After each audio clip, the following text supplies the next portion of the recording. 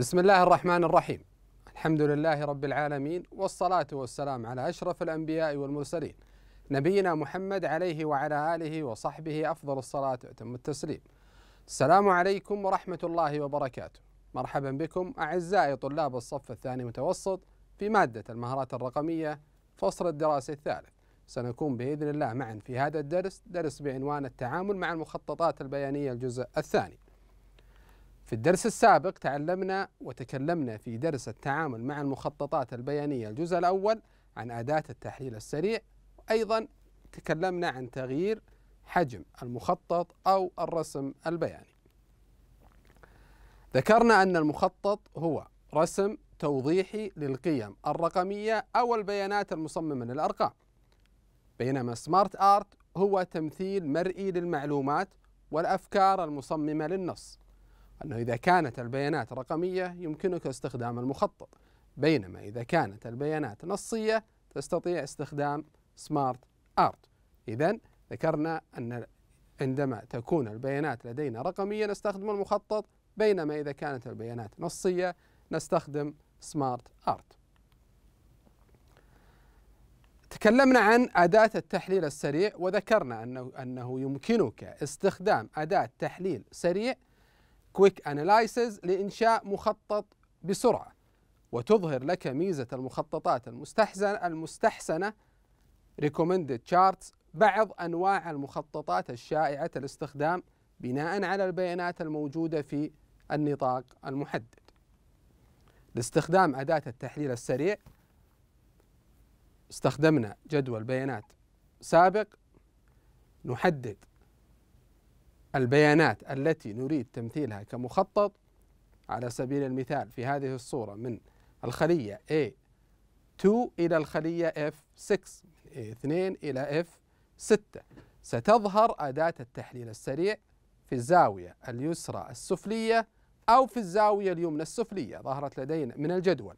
ظهرت لدينا هنا في الزاوية اليسرى السفلية. نضغط على أداة أو زر التحليل السريع. ستظهر نافذة وجود بها عدد من علامات التبويب نضغط على علامة تبويب المخططات. بعد ذلك نضغط على عمودي متفاوت المسافات. بعد الضغط على عمودي متفاوت المسافات سيتم تطبيق هذا المخطط مباشرة في ورقة العمل.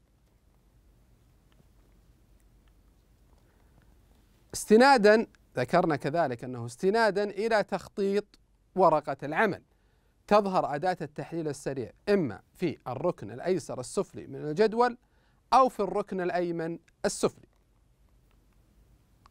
تطبيق عملي على استخدام أداة التحليل السريع بعد فتح ورقة العمل وفتح المصنف في برنامج مايكروسوفت إكسل وفي ورقة العمل نقوم بتحديد نطاق البيانات التي نريد عمل مخطط لها على سبيل المثال. بعد ذلك نلاحظ ظهور أداة زر أداة التحليل السريع في الزاوية اليسرى السفلية من الجدول. نختار من النافذة التي تظهر علامة تبويب المخططات. نلاحظ وجود عدد من المخططات. مجرد تمرير الفأرة على أحد هذه المخططات ستستطيع معاينة المخطط مباشرة. سنقوم باختيار عمودي متفاوت المسافة ونضغط على بزر الفار الأيسر عليه وسيتم تطبيقه بشكل مباشر في ورقة العمل. لاحظ تحديد نطاق البيانات وتطبيق المخطط بشكل مباشر. أيضا يمكننا تغيير حجم المخطط أو تحريكه ليتناسب مع البيانات كما أيضا ذكرنا ذلك مسبقا لتغيير حجم المخطط نضغط على المخطط لتحديده. بعد ذلك ستظهر ثمانية مقابض على لتغيير الحجم على طول حواف المخطط. بعد تحديد المخطط ستظهر ثمانية مقابض في حواف هذا المخطط. نضغط على أحد هذه المقابض ونسحب لتغيير الحجم. نضغط بزر الفار الأيسر ونقوم بالسحب مع الاستمرار بالضغط. لتغيير حجم المخطط. أيضا نستطيع أثناء تغيير حجم المخطط أثناء السحب استخدام مفتاح شفت من لوحة المفاتيح للحفاظ على تناسب المخطط. ستتغير أبعاد المخطط دون تغيير في التناسب بين أبعاده عند الضغط على مفتاح Shift. تطبيق عملي على تغيير حجم المخطط أو الرسم البياني بعد فتح المصنف في برنامج مايكروسوفت إكسل وفي ورقة العمل نحدد على المخطط ونلاحظ وجود ثمانية مقابض على طول حواف هذا المخطط. مجرد تمرير الفأرة على أحد هذه المقابض نلاحظ تغير شكل الفأرة إلى شكل السهمين بالضغط على أحد هذه المقابض بزر الفار الأيسر ومع استمرار الضغط نستطيع تغيير حجم هذا المخطط بالتصغير أو بالتكبير. تذكر أن أنه أثناء تصغير أو تكبير حجم المخطط أثناء السحب إذا عند استخدامك مفتاح شفت في لوحة المفاتيح ستحافظ على التناسب بين أبعاد هذا المخطط.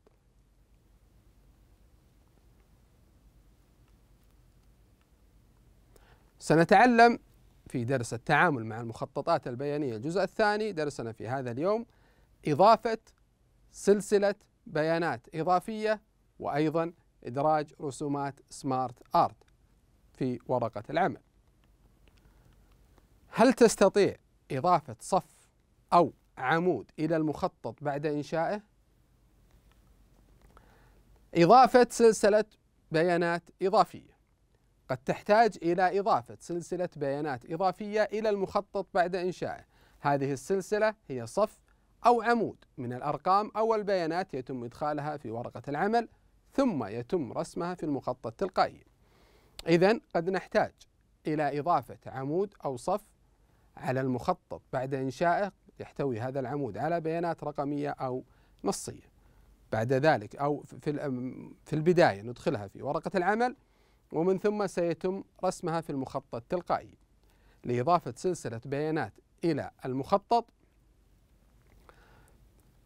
لدينا جدول يحتوي على ستة حقول جهاز حاسب جهاز لوحي هاتف جوال وحاسب محمول. وأضفنا أيضا مخطط بياني بناء على هذه البيانات المذكورة. ولكن أردنا إضافة حقل آخر باسم تلفاز على الجدول ونريد تطبيق إضافته أيضا وإدراجه إلى المخطط البياني. أولا في الصف رقم سبعة نكتب في الخلية A 7 تلفاز. وفي الخلية B 7 نكتب 1399 ريال سعودي. ثم في الخلية C 7 نكتب 1599 ريال سعودي. بعد ذلك في الخلية D 7 نكتب 1799 ريال سعودي. في الخلية E 7 نكتب 1899 ريال سعودي وفي الخلية F 7 نكتب 2000 ريال سعودي. بالطريقة هذه أضفنا البيانات إلى الجدول ولكن نريد الآن إضافتها إلى المخطط البياني كذلك. نضغط على المخطط لتحديده. نضغط على المخطط لتحديده. بعد ذلك من علامة التبويب تصميم المخطط Chart Design ومن ثم في مجموعة بيانات Data نضغط على تحديد البيانات. إذا بعد إضافة البيانات إلى الجدول نضغط على المخطط لتحديده ومن ثم من علامة تبويب تصميم المخطط نختار في مجموعة بيانات نختار تحديد البيانات. بعد اختيار تحديد البيانات ستظهر نافذة تحديد مصدر البيانات.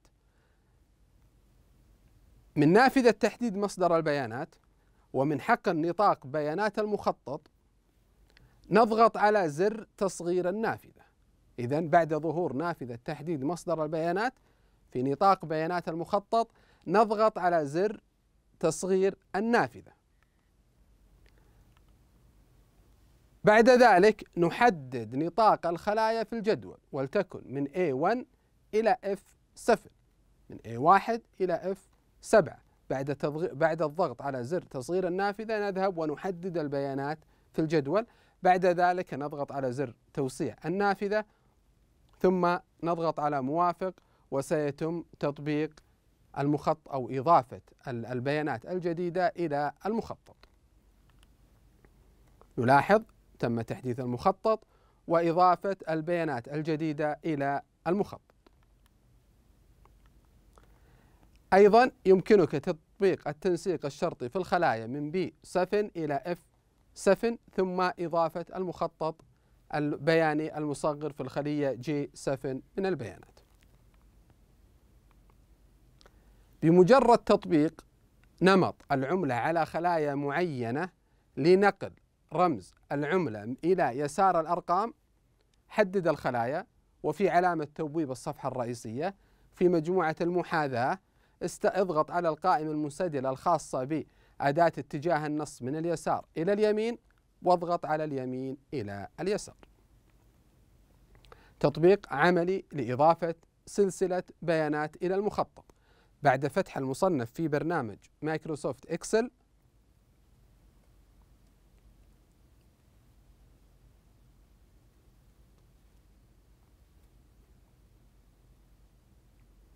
نفتح المصنف في برنامج مايكروسوفت إكسل.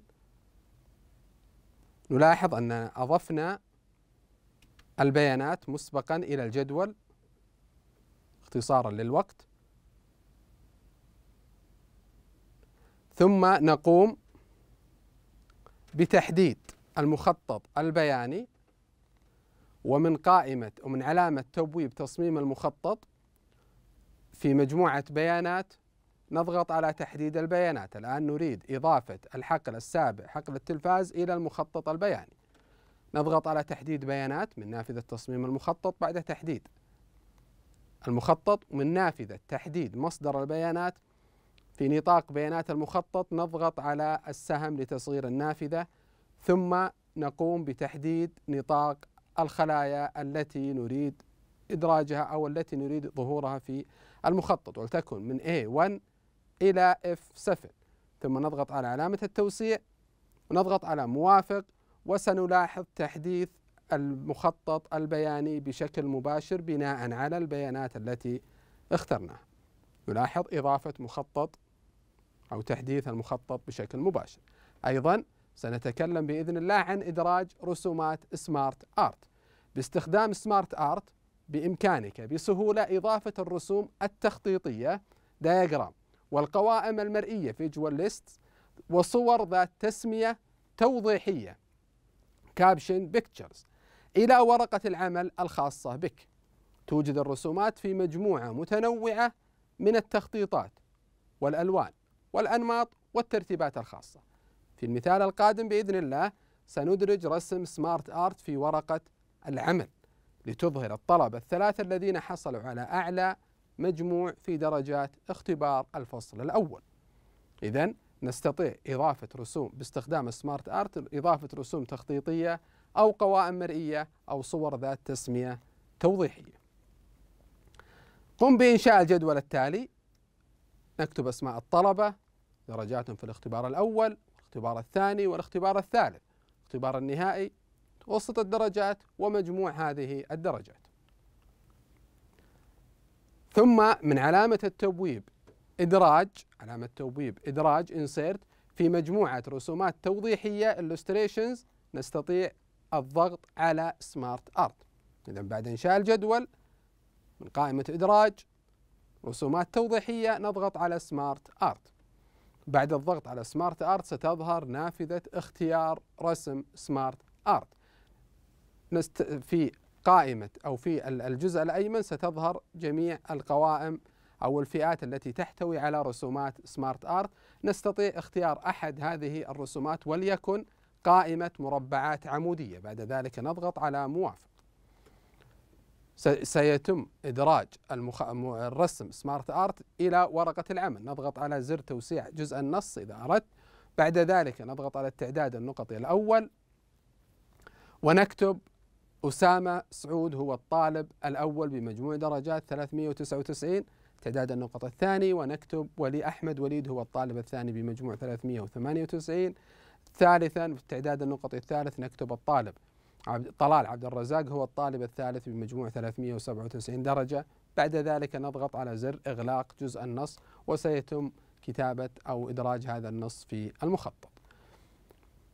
وسيصبح سمارت أو رسم سمارت آرت جاهزا تطبيق عملي على إدراج رسم سمارت آرت. بعد فتح ورقة العمل وإنشاء الجدول بداخلها من قائمة. الاختبار الأول الاختبار الثاني الثالث النهائي ومتوسط الدرجات ومجموعها نستطيع عمل SmartArt إلى أو إدراج SmartArt إلى ورقة العمل من علامة تبويب. إدراج ثم في رسومات توضيحية نضغط على السهم. ثم نختار من قائمة رسومات توضيحية نختار SmartArt وسيتم إدراج رسم SmartArt بشكل أو بالنافذة. وسنقوم اختيار بنافذة اختيار رسم سمارت آرت نلاحظ في الجزء الأيمن نستطيع الاطلاع على القوائم أو على الرسومات الموجودة. نختار أحد هذه الرسومات مجرد الضغط على الرسم سنظهر سيظهر له. معاينة بعد ذلك ضغط على موافق سيتم إدراج الرسم بشكل مباشر إلى ورقة العمل. تستطيع التعديل على النص بالكتابة في أحد التعدادات في داخل النص. تمرير زر الفارة على النص وبالضغط تستطيع كتابة النص أو في جزء النص من تصميم رسم سمارت آرت في جزء النص سيظهر لنا جزء النص تستطيع كتابة نصك في داخل هذا الجزء. مثلا في الجزء الأول سيتم كتابة أسامة سعود هو الطالب الأول بمجموع درجات 399 ثم ذلك تكتب بعد ذلك الطالب الثاني والطالب الثالث وإلى أن ينتهي كتابة هذا سمارت آرت نصل إلى تقويم الدرس. ضع علامة صح أمام العبارة الصحيحة أو علامة خطأ أمام العبارة الخاطئة فيما يلي. سلسلة البيانات هي صف أو عمود من الأرقام يتم إدخالها في ورقة العمل. العبارة الثانية لا يمكنك إضافة الرسوم التخطيطية والقوائم إلى ورقة العمل الخاصة بك. في العبارة الأولى سلسلة البيانات هي صف أو عمود من الأرقام يتم إدخالها إلى أو في ورقة العمل. أحسنت الإجابة صحيحة. العبارة الثانية لا يمكنك إضافة الرسوم التخطيطية أو القوائم إلى ورقة العمل الخاصة بك. أحسنت الإجابة خاطئة. تعلمنا في هذا الدرس درس التعامل مع المخططات البيانية. الجزء الثاني على إضافة سلسلة بيانات إضافية وأيضا إدراج رسومات سمارت آرت. شكرا لكم على حسن الاستماع والمتابعة. والسلام عليكم ورحمة الله وبركاته.